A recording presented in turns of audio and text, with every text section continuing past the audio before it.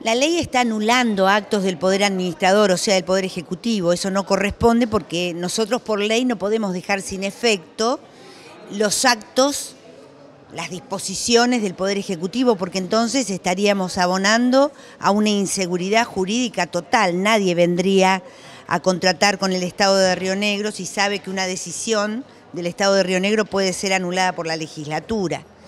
Eh, la investigación de la comisión estuvo bien, al punto que el propio fiscal de Estado, que es el que debe llevar adelante la acción de nulidad, con respecto a estas 32 hectáreas que se mal vendieron por parte del Estado provincial en la ciudad de Bolsón, ha dicho que tiene un caso, que tiene suficientes elementos como para pedir la nulidad de esa venta y retrotraer nuevamente las tierras al patrimonio de la provincia de Río Negro. Así que este, a mí me parece que con ese dictamen del, fiscal que nos advierte que no sancionemos la ley, que él va a iniciar la acción como corresponde a su competencia, estaría bien. Incluso en la segunda parte de la ley, que también me parece que está totalmente fuera de lugar, eh, la retrocesión este, o, la, o, la, incorporación de la tierra nuevamente, nuevamente, al patrimonio provincial no la realizan, sino que la mandan al patrimonio, dispone la legislatura a través de la ley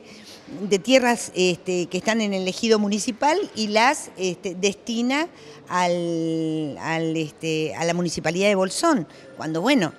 correspondería que las tierras vuelvan a la provincia, que eso es lo que se va a lograr seguramente con el juicio de nulidad, y después la provincia dispondrá qué hacer con esas tierras. En su caso, cedérselas al municipio de, de Bolsón para que haga este, lo que disponga con esas tierras que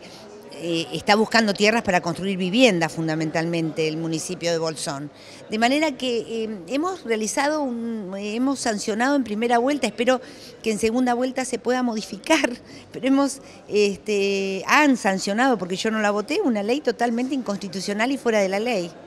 Bien, muchas gracias.